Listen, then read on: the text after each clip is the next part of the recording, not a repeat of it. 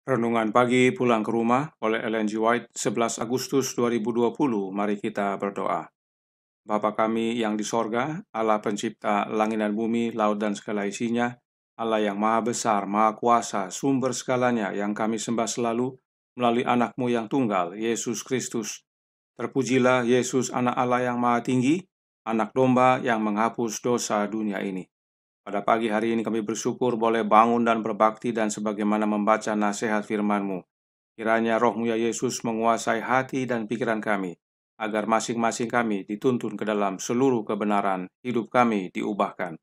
Beserta kami sepanjang perbaktian ini, kehendakmu yang jadi, ampunkan kami akan dosa dan salah, karena kami berdoa hanya melalui Yesus Kristus, anak Allah yang tunggal, yang adalah Tuhan dan Juru Selamat kami. Amin. Renungan hari ini akan dibacakan oleh Saudara Rio Ayorbaba. Silakan, Saudara Rio. Terima kasih, selamat pagi. Renungan pagi kita pada hari ini, 11 Agustus 2020, berjudul Dikosongkan dari Diri Sendiri. Ayat inti terdapat di dalam Yohanes 3 ayat 30. Ia harus makin besar, tetapi aku harus makin kecil. Karena memandang dalam iman kepada penebus, Yohanes telah naik ke puncak sifat penyangkalan diri. Ia tidak berusaha menarik orang kepada dirinya sendiri, melainkan mengangkat pikiran mereka semakin tinggi dan bertambah tinggi lagi sampai mereka berharap pada anak domba Allah.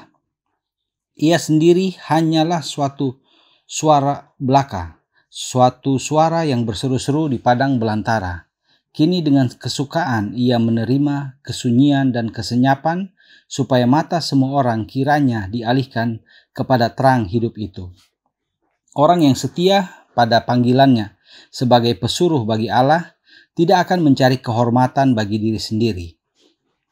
Kasih bagi diri sendiri akan dilenyapkan oleh kasih bagi Kristus. Tidak ada persaingan akan menodai pekerjaan Injil yang indah itu mereka akan mengakui bahwa pekerjaan merekalah untuk memasyurkan seperti Yohanes Pembaptis dahulu kala memasyurkan. Lihatlah anak domba Allah yang menghapus dosa dunia. Yohanes 1 ayat 29. Mereka akan meninggikan Yesus dan dengan dia manusia akan ditinggikan.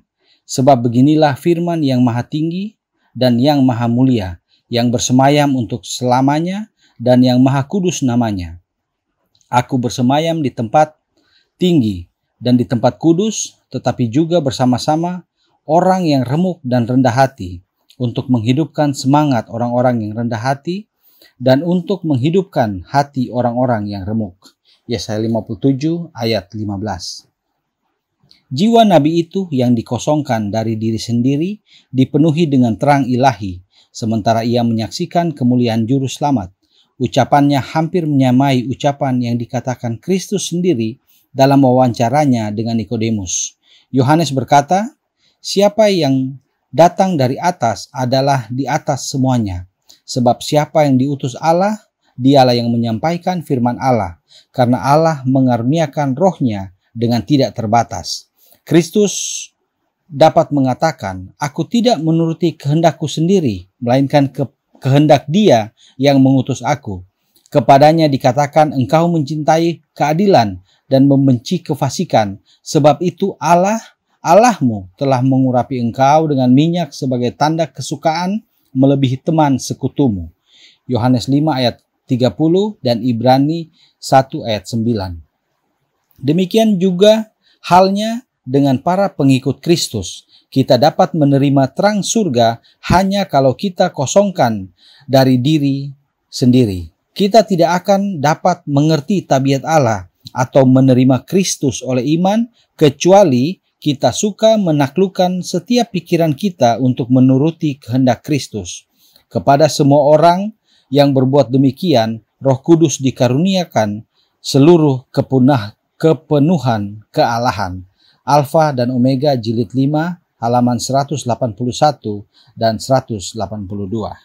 Terima kasih atas penata layanan Saudara Rio. Tuhan Yesus memberkati. Saudaraku dalam Tuhan, bagaimana caranya untuk melayani seperti Yohanes yang sama sekali tidak mencari kehormatan bagi dirinya sendiri? namun memasyurkan Yesus Kristus? Renungan hari ini menyatakan jawabnya dalam Pulang ke Rumah halaman 240 paragraf 3 yang berkata, Jiwa nabi itu yang dikosongkan dari diri sendiri dipenuhi dengan terang ilahi.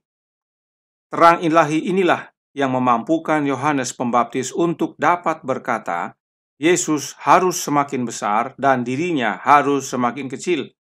Nah, apakah terang ilahi tersebut? Sebenarnya renungan hari ini sudah menjawabnya, namun ada baiknya kita lihat penjelasan lainnya agar semakin jelas. Fundamentals of Christian Education halaman 310 paragraf 2 menyatakan Tentang Yohanes Pembaptis, Kristus menyatakan, Sesungguhnya di antara mereka yang dilahirkan oleh perempuan tidak pernah tampil seorang yang lebih besar, Nabi itu dipimpin oleh roh Allah ke padang belantara, jauh dari pengaruh kota yang mencemari untuk memperoleh pendidikan yang akan membuatnya memenuhi syarat untuk menerima petunjuk dari Allah daripada dari salah satu ahli Taurat yang terpelajar. Pertama yang perlu kita ketahui bahwa Yohanes Pembaptis dipimpin oleh roh Allah, yaitu rohnya Allah Bapa. Apa buktinya? Roh Nubuat menjelaskan dalam kutipan berikut ini. The Faith I Live By, halaman 137, paragraf 4. Berkata, dalam kerendahan hati dan hati yang patah, kita harus memohon kepada Bapa Surgawi kita, jadikanlah hatiku tahir, ya Allah, dan perbaharuilah batinku dengan roh yang teguh. Mazmur 51 ayat 12. Saat kita menerima terang ilahi, dan bekerja sama dengan makhluk surgawi, kita dilahirkan kembali, dibebaskan dari pencemaran dosa oleh kuasa Kristus. Kita memohon kepada Allah Bapa untuk perbaharui batin kita dengan roh yang benar dalam diri kita, yaitu kehadiran rohnya, roh Allah Bapa. Dan roh itu digambarkan dengan terang ilahi. Mengapa demikian? Karena yang kita minta kepada Bapa adalah roh yang teguh, dan roh nubuat menyatakan saat kita menerima terang ilahi, kita dilahirkan kembali. Jadi, yang kita minta adalah roh Allah dan yang diterima adalah terang ilahi. Karenanya, roh Allah sama dengan terang ilahi. Nah, perhatikan renungan hari ini menyatakan, pulang ke rumah halaman 240 paragraf 3 berbunyi, Jiwa nabi itu yang dikosongkan dari diri sendiri dipenuhi dengan terang ilahi. Kemudian, dalam pulang ke rumah halaman 240 paragraf 4, yang White melanjutkan dalam tulisannya, demikian juga halnya dengan para pengikut Kristus. Kita dapat menerima terang surga hanya kalau kita suka dikosongkan dari diri sendiri. Terang ilahi dapat kita terima bila kita mengosongkan diri kita Kemudian, terang surga juga dapat kita terima hanya bila kita kosongkan diri kita. Maka artinya, terang ilahi dan terang surga adalah sama. Nah, perhatikan penjelasan roh nubuat dalam Gospel Workers edisi 1915 halaman 57 paragraf 1. Lihat yang paling kanan, yang menyatakan, dan Yohanes menyatakan Allah mengaruniakan rohnya dengan tidak terbatas Begitu pula dengan pengikut Kristus, kita dapat menerima terang surga hanya jika kita bersedia mengosongkan diri. Inilah cara belajar roh nubuat yang Nyonya White nasihatkan, bahwa roh nubuat menjelaskan dirinya sendiri, kutipan menjelaskan kutipan layaknya ayat menjelaskan ayat.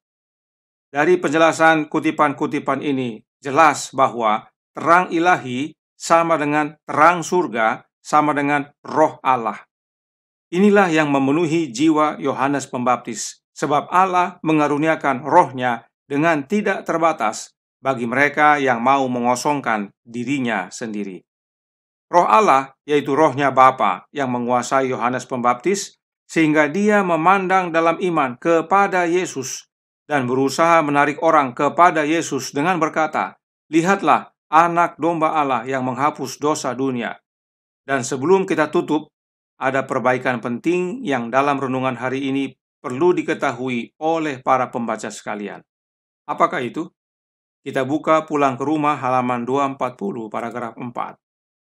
Yang berkata, Kepada semua orang yang berbuat demikian, roh kudus dikaruniakan seluruh kepenuhan kealahan.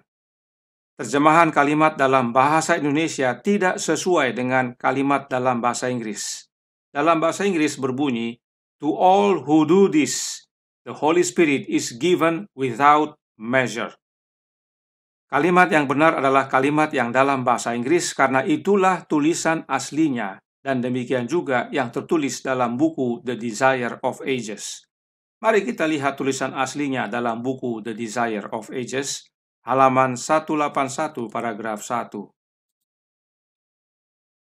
Kalimat yang ditandai warna kuning dikutip oleh renungan pagi hari ini, yang dalam bahasa Indonesia diterjemahkan menjadi kepada semua orang yang berbuat demikian, roh kudus dikaruniakan seluruh kepenuhan kealahan.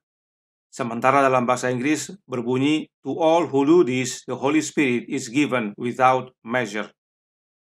Jadi, jika kita perhatikan, dalam tulisan aslinya tidak sama dengan terjemahan kalimat dalam bahasa Indonesia.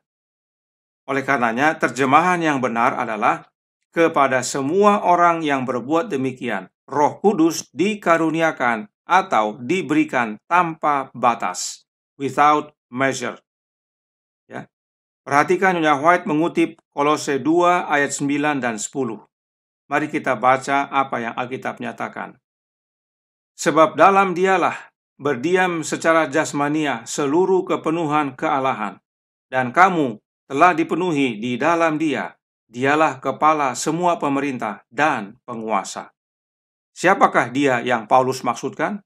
Dia di sini adalah Yesus Kristus. Itu sebabnya Nyonya White tadi menuliskan dalam buku The Desire of Ages bahwa di dalam Yesus berdiam seluruh kepenuhan kealahan. Dan kita dapat menerima kepenuhan yang sama di dalam Yesus. Perhatikan ayat 10, Paulus tulis, Kamu telah dipenuhi di dalam dia. Jadi, di dalam Yesus berdiam secara jasmania seluruh kepenuhan kealahan, dan bila kita terima Yesus, tinggal dalam hidup kita, maka kita juga mengalami kepenuhan yang sama. Apakah dengan itu kita menjadi sama dengan Allah? Tentu tidak. Perhatikan penjelasan roh nubuat berikut ini dalam Messages to Young People halaman 55 paragraf 3 yang berkata, Karena di dalam Kristus berdiam secara jasmania seluruh kepenuhan kealahan, dan kamu telah dipenuhi di dalam dia, hati manusia tidak akan pernah mengetahui kebahagiaan yang sempurna, kecuali hati diserahkan untuk dibentuk oleh roh Allah.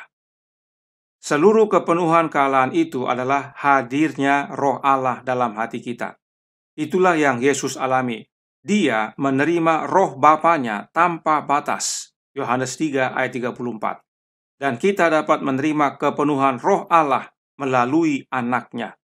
Sebab Allah Bapa di dalam anaknya melalui kehadiran rohnya Bapa, dan kemudian anak Allah mencurahkan rohnya, yaitu roh Kristus kepada umatnya.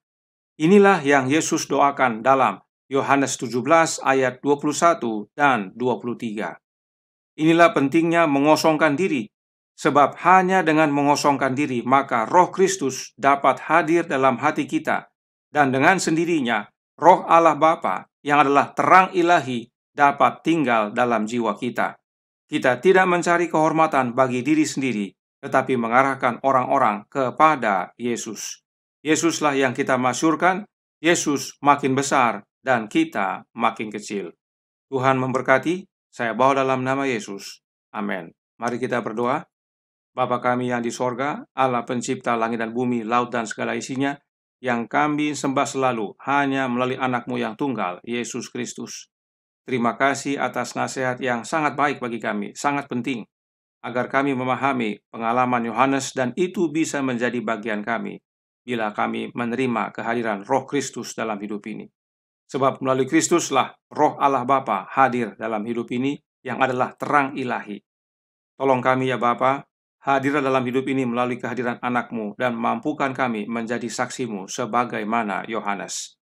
Beserta kami sepanjang hari ini kehendakmu yang jadi, Ampunkan kami akan dosa dan salah, karena kami berdoa hanya melalui anak Allah yang tunggal, Yesus Kristus, yang adalah Tuhan dan Juru Selamat kami.